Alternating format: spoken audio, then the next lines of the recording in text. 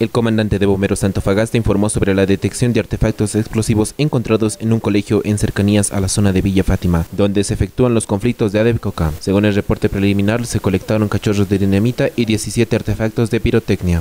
Así es, personal de la Brigada Especial eh, contra Explosivos de la Acción Departamental de Bomberos Antofagasta, a promedio del mediodía se ha constituido lo que es zona Villa Carmen, ¿no? al interior del Colegio de María objeto de hacer la colección ¿no? de unos artefactos explosivos y a su vez artefactos de pirotecnia de alto impacto.